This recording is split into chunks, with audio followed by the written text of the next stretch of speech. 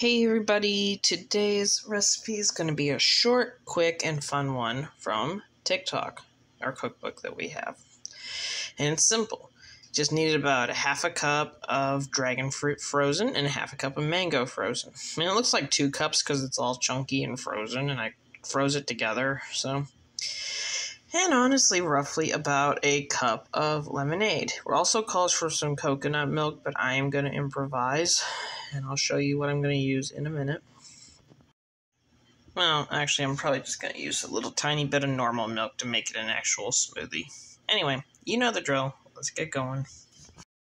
I've been taking today's recipe out of the unofficial TikTok cookbook, and I found it at Walmart. It seemed really cute, and there are a lot of fun, cute little ideas in there, and a couple of them I'm going to be trying this month and off and on throughout my cooking experience for this channel. So, if you have any ideas or suggestions, or want to see more from this book, let me know.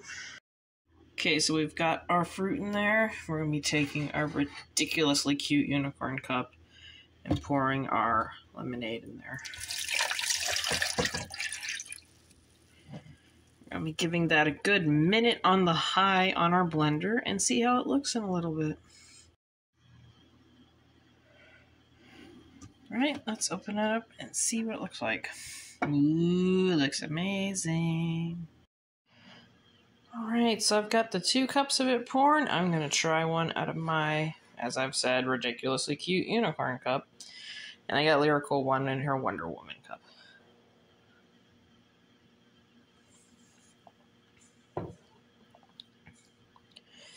Oh, wow.